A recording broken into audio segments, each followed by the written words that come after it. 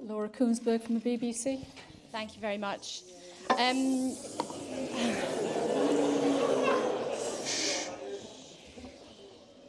Mr Corbyn, you very clearly acknowledged this morning that immigration can put real pressure on public services and communities in this country.